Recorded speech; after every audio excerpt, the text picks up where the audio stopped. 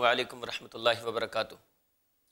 ان الحمد للہ نحمده ونستعینه ونستغفره ونؤمن به ونتوکل علیہ ونعوذ باللہ من شرور انفسنا ومن سیئات اعمالنا من يهده الله فلا مضل له ومن يضلله فلا هادي له واشهد ان لا اله الا الله واشهد ان محمدا عبده ورسوله اما بعد، فاعوذ باللہ من الشیطان الرجیم۔ بسم اللہ الرحمن الرحیم۔ اینما تکونوا یدرککم الموت ولو کنتم فی بروج مشیدہ وقال النبی صلی اللہ علیہ وسلم اکثروا ذکر حازم اللذات یعنی الموت. رواہ ابن ماجہ رب اشرح لی صدری ویسر لی امری وحلل عقدۃ من لسانی یفقہ قولی رب زدنی علما. تمام قسم کی تعریفیں، تمام جہانوں کے پروردگار، اللہ رب العالمین کے لیے ہیں اور درود و سلام نازل ہو جناب محمد الرسول اللہ صلی اللہ علیہ وسلم پر۔ ناظرین، میں کمال الدین سنابلی آپ کی خدمت میں ایک بار پھر حاضر ہوں۔ آپ کا اپنا بہت ہی اہم پروگرام لے کر، جس سے آپ کو انشاءاللہ بہت ہی زیادہ فائدہ ہونے والا ہے، اور وہ ہے جنازے کے مسائل۔ ہم بات کر رہے تھے جنازے کے مسائل میں کفن کے تعلق سے۔ کفن اور غسل کے تعلق سے ہم نے بات کی، مریض کے تعلق سے ہم نے بات کی کہ مریض کی عیادت کس طرح کرنی چاہیے۔ حسن خاتمہ کے تعلق سے ہم نے بات کی، حسن خاتمہ کی نشانیاں کیا کیا ہیں؟ کس کو غسل دینا چاہیے، کس کو غسل نہیں دینا چاہیے؟ اور اس سے متعلق بہت سارے احکام کو ہم نے آپ حضرات کے سامنے ذکر کیا۔ آہستہ آہستہ ہم اس سفر کو طے کر رہے ہیں۔ آج کا ہمارا موضوع ہے جنازے کے مسائل ہی کے تعلق سے کہ جنازے کو لے کر چلنا۔ کفن ہو گیا، میت کو غسل دے لیا، اس کو کفن دے دیا اب میت کے جنازے کو لے کر چلنا ہے جنازہ گاہ کی طرف۔ اس میں مسئلہ نمبر ایک، سب سے پہلی چیز کہ جنازے کو لے کر جانے میں جلدی کرنی چاہیے۔ تاخیر سے کام نہیں لینا چاہیے۔ کیونکہ اللہ کے رسول صلی اللہ علیہ وسلم نے ارشاد فرمایا، اسرعو بالجنازتی جنازے کے ساتھ جلدی کرو۔ فَإِن تَكُ صَالِحَةً فَخَيْرٌ تُقَدِّمُونَهَا۔ وَإِن تَكُ سِوَى ذَلِكَ فَشَرٌ تَضَعُونَهُ عَنْ رِقَابِكُمْ۔ بخاری حدیث نمبر 1315 ابو حریرہ رضی اللہ عنہ اس حدیث کے راوی ہیں کہ اللہ کے رسول صلی اللہ علیہ وسلم نے ارشاد فرمایا، جنازے کے ساتھ جلدی کرو۔ اس لیے کہ اگر وہ میت نیک ہے، فَإِن تَكُ صَالِحَةً فَخَيْرٌ تُقَدِّمُونَهَا۔ تو تم اس کو بھلائی کے نزدیک کر رہے ہو۔ کیوں؟ بھلائی کے نزدیک کیسے ہوئی وہ میت؟ اللہ کے رسول کے کہ اس فرمان کا مطلب کیا ہے کہ تم اسے بھلائی کے نزدیک کر رہے ہو؟ کیوں؟ اس وجہ سے کہ نیک لوگ جو ہوتے ہیں، ان کو مرنے کے بعد آرام ملتا ہے۔ قبر ان کے لیے جنت کے باغیچوں میں سے ایک باغیچہ بن جاتی ہے۔ قبر ان کے لیے پر نور ہو جاتی ہے۔ قبر جو پہلی منزل ہے، ان القبر اول منزل من منازل الاخرتی۔ قبر جو پہلی منزل ہے، انسان کی، میت کی وہ اس کے لیے کشادہ ہو جاتی ہے جو نیک شخص ہے۔ اور اس کے بعد جو حساب و کتاب ہونے والے ہیں، وہ بھی اس کے لیے آسان ہوتے ہیں۔ حساب و کتاب کا جو پروانہ دیا جاتا ہے، وہ اس کے دائیں ہاتھ میں دیا جاتا ہے۔ اور پھر بہرحال اللہ رب العالمین اس کو جنت میں داخل کرے گا۔ جو شخص مومن ہے، موحد ہے، اچھے اعمال اس نے کیے ہیں، تو اللہ رب العالمین اس کو جنت میں داخل کرے گا۔ تو مرنے کے بعد اس کے لیے بھلائی ہی بھلائی ہے ہر منزل پر۔ قبر میں بھی اس کے ساتھ بھلائی، کہ قبر اس کے لیے کشادہ ہو جاتی ہے اور جنت کے باغیچوں میں سے ایک باغیچہ اس کے لیے بن جاتی ہے قبر۔ سکون کی جگہ بن جاتی ہے۔ قبر کے بعد والی جو منزلیں ہیں، وہاں بھی اس کے لیے بھلائی، کہ حساب و کتاب میں اسے کوئی مشکل نہیں آتی۔ اس کا نامہ اعمال اس کے دائیں ہاتھ میں دیا جاتا ہے۔ اور بالآخر اس کو جنت ملتی ہے، وہاں بھی اس کے لیے بھلائی۔ تو مرنے والا اگر نیک ہے، تو مرنے کے بعد اس کے لیے بھلائی ہی بھلائی ہے۔ تو آپ نے ارشاد فرمایا کہ جنازے میں جلدی کرو۔ اس لیے کہ اگر وہ نیک ہے، تو تم اسے بھلائی کے قریب کر رہے ہو۔ وہ ان تک اس ذالک اور اگر بھلائی کے، بھلے شخص کے علاوہ کوئی اور ہے وہ میت۔ نیک نہیں ہے، نیک کے علاوہ ہے یعنی بد ہے۔ فشر تضعونه عن رقابكم۔ تو پھر وہ ایک شر ہے، ایک برائی ہے جسے تم اپنے کندھوں سے اتار رہے ہو۔ وہ شخص برا ہے، قبر میں بھی اس کے ساتھ برا ہونے والا ہے۔ قبر میں جب اس سے سوال کیے جائیں گے کہ من رب کا تمہارا رب کون ہے؟ من نبی کا تمہارے نبی کون ہے ماں دین کا تمہارا دین کیا ہے؟ تو ہر سوال کے جواب میں وہ چیخے گا، چلائے گا اور صرف یہی جواب دے گا ہا ہا لا ادری۔ میں نہیں جانتا۔ ہا ہا لا ادری۔ ہائے، میں کچھ نہیں جانتا۔ تو وہ اس کے لیے شر ہے، برائی ہے۔ پھر قبر اس کے لیے جہنم کے گھڑوں میں سے ایک گھڑا بن جاتی ہے۔ یہ بھی اس کے لیے برائی ہے اور اس کے برا ہونے کی علامت ہے۔ پھر اس کا حساب و کتاب سخت ہوتا ہے۔ اور اس کا نامہ اعمال اس کے بائیں ہاتھ میں تھمایا جاتا ہے، یہ بھی اس کے لیے برائی ہے۔ پھر بالآخر اللہ رب العالمین اس کو جہنم میں داخل کرے گا۔ یہ بھی اس کی برائی کو ثابت اور ظاہر کرتا ہے۔ تو اللہ کے رسول صلی اللہ علیہ وسلم نے فرمایا کہ اگر وہ برا ہے، شر ہے اگر وہ اس کے علاوہ ہے، نیک کے علاوہ ہے، فشر عن رقابکم تو پھر وہ ایک شر ہے جس کو تم اپنی گردنوں سے اتار رہے ہو۔ برائی کو اپنی گردن سے جتنی جلدی ہو سکے اتار دو۔ برے شخص کو اپنی گردنوں سے جتنی جلدی ہو سکے اتار دو۔ تو ہر صورت میں، بہر صورت، میت کو جنازہ گاہ لے جانے میں، اس کی تجہیز و تکفین میں، اس کو قبرستان تک لے جانے میں، اس کو قبر میں لے جانے میں جلدی کرنی چاہیے۔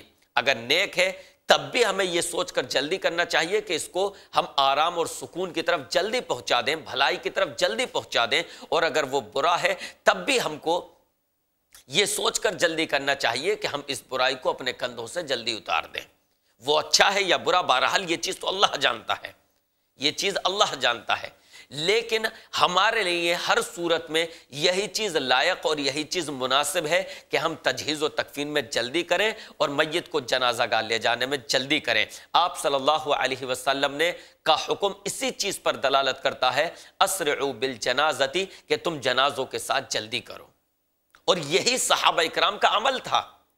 اللہ کے رسول صلی اللہ علیہ وسلم کے زمانے میں صحابہ اکرام کا یہی عمل تھا۔ یہاں تک کہ حضرت ابو بکر رضی اللہ عنہ ارشاد فرماتے ہیں نحن مع رسول اللہ صلی اللہ علیہ وسلم نرمل رملن. ابو داود حدیث نمبر تین ہزار ایک سو بیاسی. فرماتے ہیں کہ ہم اللہ کے رسول صلی اللہ علیہ وسلم کے ساتھ جنازہ لے کر دوڑا کرتے تھے یعنی تیز تیز چلا کرتے تھے کہ ہم اللہ کے رسول صلی اللہ علیہ وسلم کے ساتھ جنازہ لے کر دوڑا کرتے تھے۔ مطلب یہ ہے کہ تیز تیز قدموں سے چلا کرتے تھے۔ تو اللہ کے رسول صلی اللہ علیہ وسلم کا فرمان بھی اسی چیز پر دلالت کرتا ہے کہ میت کو جنازہ گاہ لے جانے میں، قبرستان لے جانے میں جلدی کرنا چاہیے اور صحابہ کرام کا عمل جو کہ اللہ کے رسول صلی اللہ علیہ وسلم کی موجودگی میں تھا، وہ بھی اسی چیز پر دلالت کرتا ہے کہ جنازے کو قبرستان لے جانے میں، جنازے کو جنازہ گاہ لے جانے میں اور اس کی نماز پڑھنے میں جلدی کرنی چاہیے۔ مسئلہ نمبر دو، جنازے میں شرکت کرنا یہ ایک مسلمان کا دوسرے مسلمان پر حق ہے۔ وہ حدیث جو میں نے آپ حضرات کے سامنے پڑھی تھی مسلم کی، ابو حریرہ رضی اللہ عنہ اس حدیث کے راوی ہیں کہ آپ صلی اللہ علیہ وسلم نے ارشاد فرمایا، حق المسلم علی المسلم ستن ایک مسلمان کے دوسرے مسلمان پر چھ حقوق ہیں۔ اذا لقیتہ فسلم علیہ۔ جب تم اس سے ملاقات کرو تو پھر اسے سلام کرو۔ سلام کرنا یہ حق ہے۔ ہائے اور ہیلو نہیں۔ آپ ہائے ہیلو کر سکتے ہیں، لیکن سب سے پہلے سلام۔ سلام ہے۔ تو مسلمان کا مسلمان پر کیا حق ہے؟ اذا لقیتہ فسلم علیہ۔ نمبر ایک یہ کہ جب تم اس سے ملاقات کرو تو اسے سلام کرو۔ وَإِذَا دَعَاكَ فَأَجِبْهُ۔ اور وہ جب تمہاری دعوت کرے، تم کو کھانے پر مدعو کرے، کسی بھی طرح کا جائز کھانا ہو، عقیقے کی دعوت کرے، ولیمے کی دعوت کرے، یا اس کے علاوہ ویسے ہی ہدیتاً وہ خوشی میں دعوت کر رہا ہے، بشرطے کہ وہ دعوت ناجائز یا خلاف سنت نہ ہو۔ خلاف سنت کا مطلب یہ کہ رسم و رواج والی جو دعوتیں ہوتی ہیں، اس کی مثالیں اگر ہم چاہیں تو معاشرے میں تلاش کر سکتے ہیں کہ غیر مسنون دعوتیں کتنی ہوتی ہیں ہمارے سماج میں، ہمارے معاشرے میں۔ اور اسی طرح اس دعوت میں گناہ کا کوئی شائبہ نہ ہو۔ اگر گناہ کا شائبہ ہے مثال کے طور پر آپ کو یہ علم ہے کہ اس نے جو آپ کی دعوت کی ہے، وہ اس کا پیسہ جائز اور حلال نہیں ہے۔ اس کا پیسہ سود خوری کا ہے۔ یا اس نے ظلمن کسی کا مال ہڑپا ہے، اس مال میں ہمیں انوائٹ کر رہا ہے، اس مال میں سے ہمیں کھانا کھلا رہا ہے۔ تو آپ اپنے تقوی کا اظہار کرتے ہوئے اس بنیاد پر اس کی دعوت میں شرکت نہ کریں کہ میں حرام نہیں کھانا چاہتا۔ تو ٹھیک ہے، آپ اس کی دعوت میں مت جائیے۔ لیکن اگر اس کی دعوت میں گناہ کا شائبہ نہیں ہے، حرام کاری کا شائبہ نہیں ہے تو پھر آپ اس کی دعوت میں شرکت کیجیے۔ غسل ہو گیا، کفن ہو گیا، اب آپ جنازے کو جنازہ گاہ لے جا رہے ہیں۔ جنازے کو جنازہ گاہ لے جانے میں یا قبرستان لے جانے میں، نماز جنازہ پڑھانے میں یا مختصر سے الفاظ میں کہہ لیجیے کہ مسجد کی تجہیز و تکفین میں جلدی کرنا چاہیے۔ اللہ کے رسول صلی اللہ علیہ وسلم کی یہی سنت ہے۔ مسئلہ نمبر دو، ہم آپ کے سامنے بیان کر رہے تھے کہ جنازے میں شرکت کرنا یہ مسلمان کا مسلمان پر حق ہے۔ اور اس تعلق سے ہم نے آپ حضرات کے سامنے حدیث بھی شروع کی تھی جو کہ ہم وقفے سے پہلے پوری نہیں کر پائے تھے کہ آپ صلی اللہ علیہ وسلم نے ارشاد فرمایا، حق المسلم علی المسلم ستن مسلمان کے مسلمان پر چھ حقوق ہیں۔ اذا لقیتہ فسلم علیہ، جب آپ اس سے ملاقات کریں تو اس کو سلام کریں۔ وہ ادا دعا کا فجب ہو اور اگر وہ آپ کو دعوت دے تو اس کی دعوت کو قبول کریں۔ میں نے آپ کے سامنے وضاحت کی تھی کہ اگر اس کی دعوت میں کوئی گناہ کی بات پائی، کوئی گناہ والی چیز پائی جاتی ہے، چاہے اس کا پیسہ حرام کا ہو، ظلم سے چھینا ہوا ہو، چوری کا ہو، سود کا ہو، اور آپ اپنے تقوی کی بنیاد پر اس دعوت میں نہ جانا چاہتے ہو تو بالکل ٹھیک ہے، درست ہے، آپ اس کی دعوت میں مت جائیے، بلکہ تاکیدن مت جائیے۔ اس کی دعوت میں مت جائیے، آپ انکار کر دیجیے۔ اور اگر وہ وجہ معلوم کرتا ہے، سبب پوچھتا ہے کہ میرے بھائی، تم نے میری دعوت کو کیوں ٹھکرا دیا؟ تم نے میری دعوت کو قبول کیوں نہیں کیا؟ تو آپ صاف صاف اس کو بتا دیجیے کہ میرے بھائی، تمہارا جو یہ مال ہے، کیونکہ اس میں گناہ شامل ہے، یہ مال حلال ذرائع سے، حلال وسائل سے نہیں کمایا گیا ہے، یہ مال حرام طریقوں سے استعمال کیا گیا ہے، اس وجہ سے میں تمہاری دعوت میں شرکت نہیں کرنا چاہتا۔ آپ اس کے سامنے وضاحت کر دیجیے تاکہ اس کو نصیحت ملے، تاکہ اس کو سوچنے کا موقع ملے۔ وہ سوچنے پر مجبور ہو کہ اگر میں اسی طرح سے حرام کماتا رہا تو لوگ میرے کھانوں میں، میری محفلوں میں آنا چھوڑ دیں گے، میرے شادی بیاہ میں آنا چھوڑ دیں گے، میرے ولیمے میں، میرے بچوں کے عقیقے میں آنا چھوڑ دیں گے۔ میں جو پروگرام کروں گا، ان میں لوگ شرکت کرنا چھوڑ دیں گے۔ تو آپ ناراضگی کا اظہار کر دیجیے، دعوت میں مت جائیے اور اس کو جتلا بھی دیجیے، بتا بھی دیجیے کہ اس وجہ سے میں دعوت میں نہیں آ رہا۔ لیکن اگر اس کے مال میں اس طرح کا کوئی شائبہ نہیں ہے، اس کا مال حلال ہے، صحیح طریقوں سے، صحیح وسائل سے، جائز وسائل سے اس نے مال کمایا ہے اور پھر وہ آپ کی دعوت کرتا ہے آپ کو کھانے پر مدعو کرتا ہے، تو اللہ کے رسول صلی اللہ علیہ وسلم کا حکم ہے، یہ فرمان ہے کہ وہ ادا دعا کا ہو وہ آپ کی دعوت کرے تو اس کی دعوت کو قبول کر لیجیے۔ وہ ادس تنسح کا لہو نمبر تین، اگر وہ آپ سے مشورہ مانگے تو پھر اس کو اچھا مشورہ دیجیے، اس کی خیر خواہی کیجیے۔ کئی مرتبہ ایسا ہوتا ہے کہ انسان کسی معاملے میں اکیلا، فیصلہ لینے کا متحمل نہیں ہوتا۔ وہ اکیلا فیصلہ نہیں لے پاتا۔ کئی بار یہ ہوتا ہے کہ انسان اکیلا فیصلہ نہیں لے پاتا۔ اس کے سامنے کوئی کام ہے۔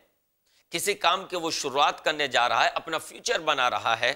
وہ یہ چاہتا ہے کہ میرے جو احباب ہیں، جو میرے قریبی ہیں، جو میرے رشتہ دار ہیں، جو میرے دوست ہیں جن کو میں اپنا سمجھتا ہوں، جو مجھ کو اپنا سمجھتے ہیں، اگر میں ان سے اس معاملے میں رائے لوں، تو وہ مجھے ایک بہتر اور سنجیدہ رائے دیں گے۔ اور ان کا مشورہ میرے لیے بہتر ہوگا، بہتر رہے گا، کیونکہ وہ صاحب فکر ہیں، صاحب رائے ہیں۔ ان کو زندگی کا تجربہ ہے، ان کو اس کام کا تجربہ ہے۔ اگر وہ مشورہ دیں گے تو انشاءاللہ اللہ اس کام میں میں کامیاب رہوں گا۔ تو وہ آپ سے مشورہ چاہتے ہیں، آپ سے رہنمائی چاہتے ہیں۔ تو اللہ کے رسول صلی اللہ علیہ وسلم فرما رہے ہیں، اگر کوئی آپ سے رہنمائی چاہے، کوئی مشورہ چاہے، تو تم اس کی خیر خواہی کرو۔ اس کو بھلا مشورہ دو۔ اس کو کوئی ایسا مشورہ نہ دو جو اس کے فیوچر کو خراب کرنے والا ہو۔ باقی فیوچر تو اللہ کے ہاتھ میں ہے۔ مستقبل اچھا ہوگا یا برا، یہ اللہ کے اختیار میں ہے۔ لیکن آپ اپنے تجربوں کی روشنی میں، اپنے علم کی بنیاد پر دنیا کو آپ نے جتنا پرکا ہے، جتنا جاچا ہے، جس قدر دنیا میں زندگی گزاری ہے، اس اعتبار سے اپنے علم کی حد تک، ممکنہ حد تک آپ اس کو اچھی رائے دیجیے۔ آپ اس کو اچھا مشورہ دیجیے۔ یہ مسلمان کا مسلمان پر حق ہے۔ تو آپ نے فرمایا تیسری چیز وہ ادستنسح کا فنسح لہو جب وہ تم سے مشورہ چاہے، جب وہ تم سے خیر خواہی چاہے، تو تم اس کی خیر خواہی کرو۔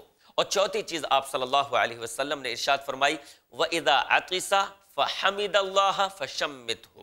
اگر اس کو چھیک آتی ہے اور وہ اللہ کی حمد بیان کرتا ہے، اللہ کی حمد بیان کرنے کا مطلب کہ وہ کہتا ہے الحمدللہ۔ چھینکنے والا الحمدللہ کہے تو اگر اس کو چھینک آتی ہے، وہ اللہ کی اور وہ اللہ کی حمد بیان کرتا ہے فشم فَشَمِّتْهُ، تو تم اس کی چھینک کا جواب دو۔ جواب کیا ہوگا؟ کہ آپ جواب دیں، یرحمک اللہ۔ چھینک کے آداب آپ کو پتا ہے نا؟ کہ جب آپ کو چھینک آئے گی تو آپ کہیں گے، الحمدللہ۔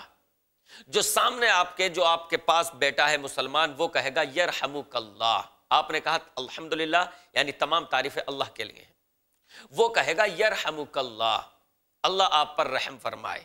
تو جواب میں پھر آپ کہیں گے، تیسری اسے دعا دیں گے، یہدیکم اللہ ویسلح بالکم۔ اللہ تم کو سیدھی راہ پر رکھے، اللہ تم کو ہدایت پر رکھے اور تمہارے احوال کو درست رکھے، درست فرمائے۔ تو آپ صلی اللہ علیہ وسلم نے فرمایا، چوتھا حق یہ ہے، وَإِذَا عَقِسَ فَحَمِدَ اللَّهَ فَشَمِّتْهُ۔ اگر وہ چھیکتا ہے اور اللہ کی حمد بیان کرتا ہے یعنی الحمدللہ کہتا ہے، تو اس کی چھینک کا جواب دیجیے یعنی یرحمک اللہ کہیے۔ یہاں پر ایک مسئلہ میں بیان کر دوں کہ یرحمک اللہ، یہ جملہ کہ اللہ آپ پر رحم فرمائے، یہ تبھی کہیں گے آپ جبکہ چھینکنے والا الحمدللہ کہے۔ اگر وہ چھینکتے وقت الحمدللہ نہیں کہتا، تو آپ پر یرحمک اللہ کہنا نہیں ہے۔ آپ یہ جملہ یرحمک اللہ، اسی وقت کہیں گے جبکہ وہ اللہ کی حمد بیان کرتا ہے۔ اگر چھینکنے والا چھینکتا ہے اور چھینکنے کے بعد پھر خاموش رہتا ہے، تو آپ بھی خاموش رہیں گے، کچھ نہیں کہیں گے۔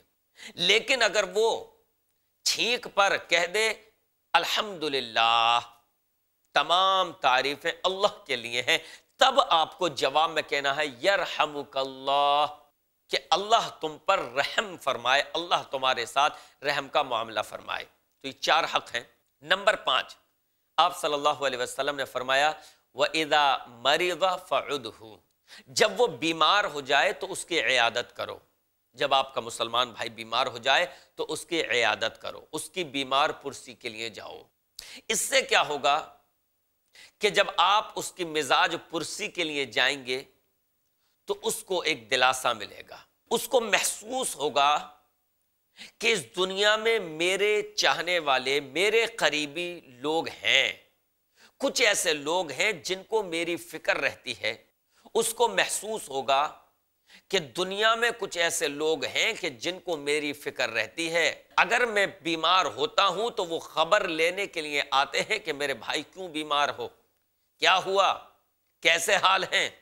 نتیجتاً اس کے دل میں آپ کے لیے محبت پیدا ہوگی۔ اور وہ آپ کا قریب سے قریب تر بن جائے گا۔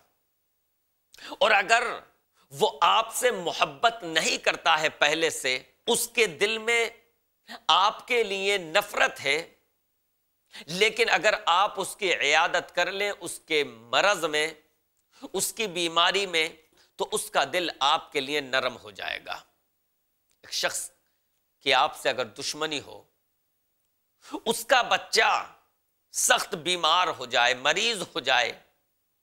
اور اللہ سب کو شفا عطا فرمائے اور اس کی بیماری، اس کے بچے کی بیماری بڑھ جائے۔ اس حالت میں آپ اس سے ملنے چلے جائیے۔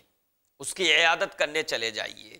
چاہے اس سے پہلے آپ کی اس سے دشمنی ہے، وہ آپ سے سیدھے منہ بات نہیں کرتا، وہ آپ کو منہ نہیں لگاتا، آپ کے سلام کا جواب نہیں دیتا، آپ کی دعوتوں میں شرکت نہیں کرتا۔ آپ سے کسی طرح کا لین دین باقی نہیں رکھنا چاہتا، لیکن اگر اس کا بچہ بیمار پڑ گیا ہے، ہاسپٹل میں بھرتی ہے، آپ جا کر اس کی خیریت لیجیے، اس کے بچے کا حال چال معلوم کیجیے، کچھ اچھے مشوروں سے نوازیے اور ان کو دلاسا دیجیے کہ انشاءاللہ اللہ بأس تحور انشاءاللہ، فکر مت کرو، یہ بیماری گناہوں سے پاک کرنے والی ہے اور انشاءاللہ جلدی ہی یہ بیماری دور ہو جائے گی، اللہ تم کو شفا عطا فرمائے۔ اگر آپ جا کر عیادت کرتے ہیں تو یقین جانیے اس کا دل آپ کے لیے نرم ہو جائے گا۔ اس کے دل میں جو نفرت ہے، وہ محبت سے بدل جائے گی۔ اس کے دل میں جو عداوت ہے، جو عداوت کی آگ بھڑک رہی ہے، وہ محبت سے بدل جائے گا اور اس کے دل میں آپ کے لیے جگہ پیدا ہو جائے گی۔ تو اس وجہ سے آپ صلی اللہ علیہ وسلم نے مسلمان کا مسلمان پر پانچواں حق بتایا کہ وہ ادا مریضہ جب وہ بیمار ہو جائے تو اس کی عیادت کرو۔ اور چھٹا حق جو ہمارے موضوع سے تعلق رکھتا ہے کہ آپ صلی اللہ علیہ وسلم نے ارشاد فرمایا وہ ادا ماتا فتب جب وہ مر جائے، اس کی وفات ہو جائے، تو پھر اس کے جنازے میں شرکت کرو۔ یہ بھی مسلمان کا مسلمان پر حق ہے۔ حدیث نمبر دو ہزار ایک سو باسٹھ۔ ناظرین آج کا ہمارا وقت یہیں پر ختم ہوا۔ بہت ہی اہم موضوع یہ چل رہا تھا۔ ہم نہیں چاہتے آپ سے رخصت ہونا، لیکن وقت ہم کو اجازت نہیں دیتا۔